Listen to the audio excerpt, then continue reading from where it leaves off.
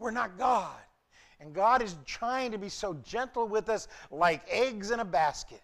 And out of his love, he's, he's saying to us, guys, listen, I, I, know, I know I created you, but you're not me. And you can't do this the way you think you could do it. And we're stubborn. And that's part of understanding the calling is that there's truth involved in this. Because of God's great love, he wants every person to be saved and to come to the knowledge of the truth, not just a few, but everyone. 1 Timothy 2 4.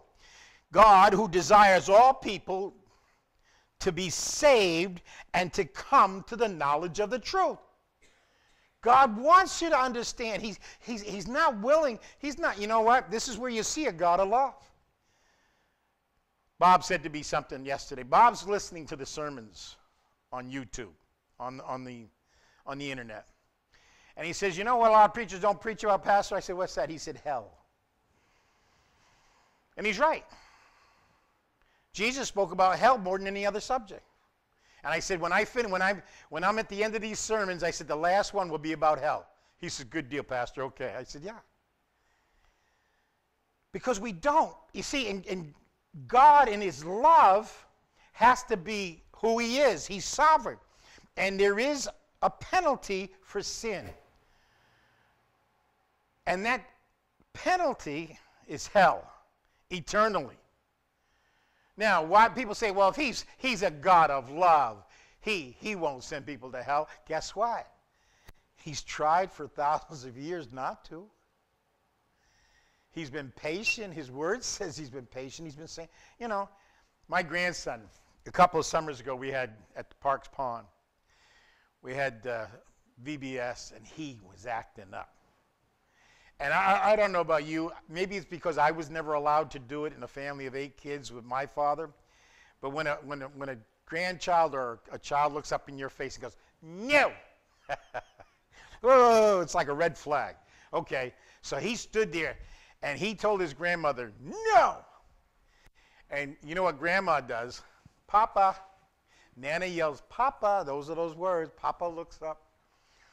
And this is grandson. Mm. Come here. No. Oh, you, you've gone too far now. And let's go outside. We're going to settle this privately, not where everybody can see, because I don't want to embarrass you any more than you need to be. And when I got him to the door, he refused to go. So, with a little gentle help, out the door he went and around the building and he got what for on the seat of his pants. But then I put my arm around him and said, I love you. And the way you're acting is not the way we're supposed to act. And that's why Papa is doing this to get your attention. And you know what? Every now and then, Papa will look at him. One night, we sent him away from the table and said, Go into your bed, nothing to eat. Well, he did. So I couldn't sit there and eat. I got up from the table. I went in, especially with Nana looking at me. You're so mean. So I go in the bedroom, close the door, and I sit on the bed with him and I talk to him. And you know what? We sat there and we talked, and I said, Do you want us to eat now? Let's go back to the table. And we came back to the table together. And I didn't have to spank him. But you know, the problem is that some of us still don't get it. And we grow up not getting it. And if you don't believe me, go down to the Penobscot County Jail. I'll show you a lot of people that don't get it. And even in a society, if you want to take God out of the society, they still don't get it. So it's even beyond the God thing. If that was possible, but it's not. Because God's in control of everything. He's our God. He loves us. So he doesn't want any of us to, to, to uh, perish without knowing him. So the, under calling, first thing is everybody matters to God. The second point, and remember what Jesus said, by the way, John 8 32, and you'll know the truth, and the truth will set you free. And that's the truth, that everybody matters to God. The second point under under uh, our calling is that believers are predestined. Listen to this believers are predestined to salvation. There's a wedding feast of the king. The king's having this wedding feast. And he's calling the people, and, and he sent this invitation to all these high mucky mucks. You know, he sent it to the, to the governor and to the first selectman and to, to all the senators and all the representatives of the country. He sent it to all these people. And guess what? Nobody showed up. So he, he sent out his people to go invite them, tell them to come. We're all busy. We're all busy. We've got things to do. This is kind of like the other parable where I just bought me a cow and married a wife. When we were kids at camp, we used to sing that backwards. I just bought a wife and married a cow, but you know, we, we and then somebody catches doing it and says, "Stop singing that song like that. Stop singing that." But it's like that parable. And nobody wanted to come because they're too busy doing their own thing. All right, God, I, I know you got a heaven or a hell, and I know you're waiting, and I know you want me to have, but I'm, I'm busy right now, okay? And that's what we do in our lives. Instead of having times of devotion and spending times talking to Him and coming to, to meetings and getting together and fellowshipping and building up the Spirit of God within our lives, we're too busy. And you know, in my life, the way I see that sometimes is with my kids. I hear from them once in a while. Their lives are busy. You want them to be around more often. Sometimes you don't. I always say, especially with the grandkids, the best thing about grandkids are tail lights. When you see their parents taking them away, you know, and there they go. Three, you know, fish and relatives, three days, and they both start to smell. But, you know, we have family, we're close and connected but we really do want to be together. I want to be with the kids. And the kids don't want to. They want to go their own way. And God created us, and we want to do our own thing. Back to the garden again. When God came looking for Adam and Eve in the garden, where were they? Uh, we're hiding. okay. They're hiding from God. Why? Um, we're naked. we're naked. Oh, who told you you were naked? Well, and then they and then the story comes out, huh? All the lying and the and the fumbling and and that's what we do in our lives.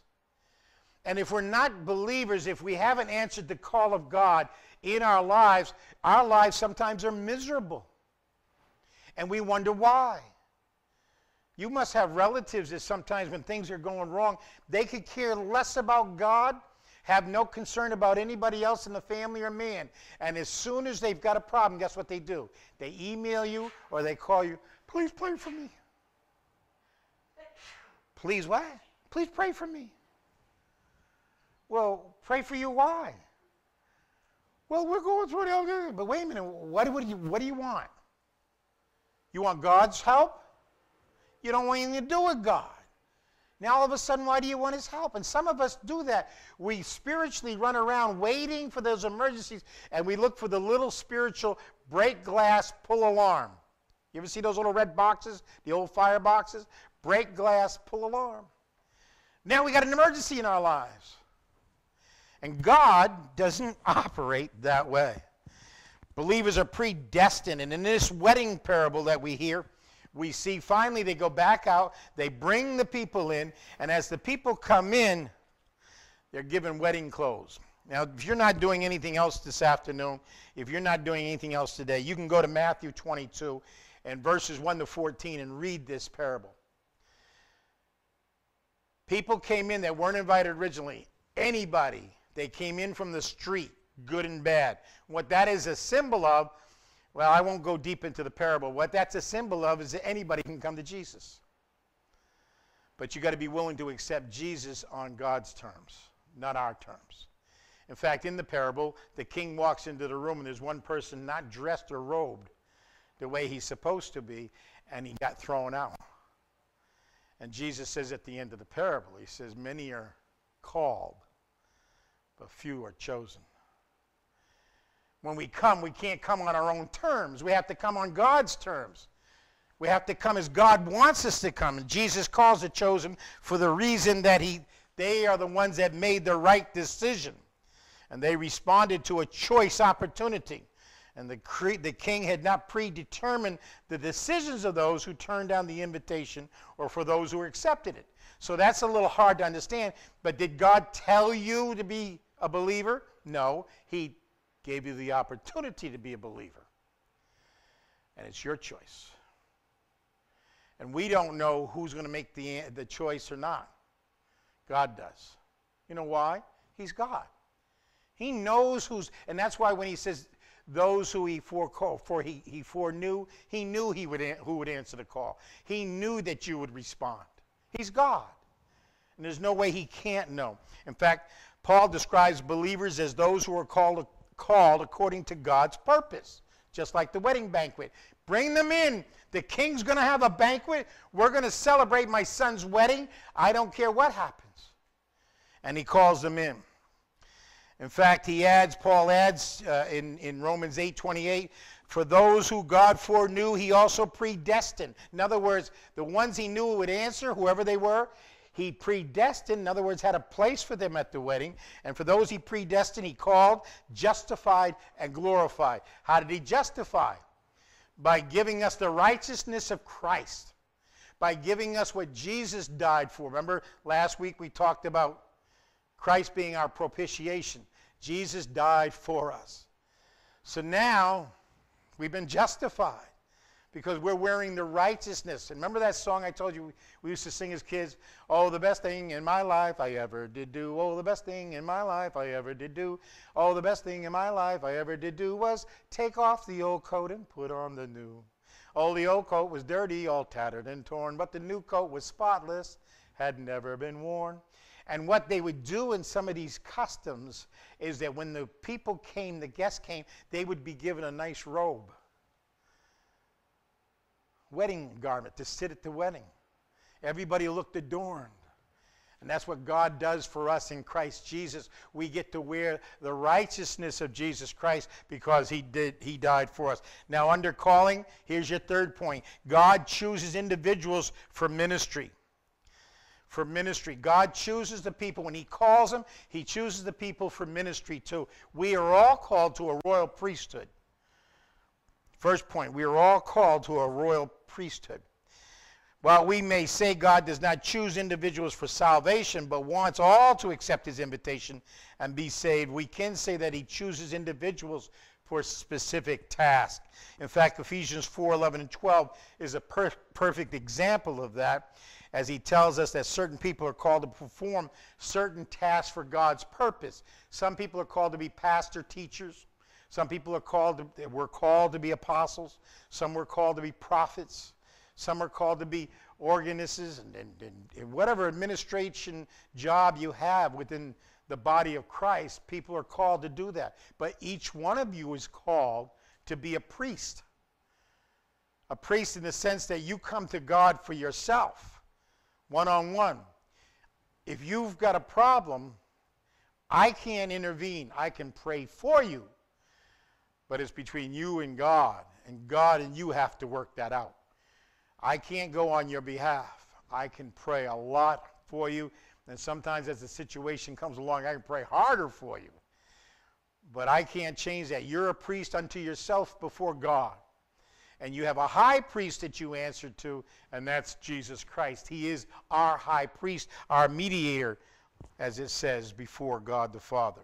Now,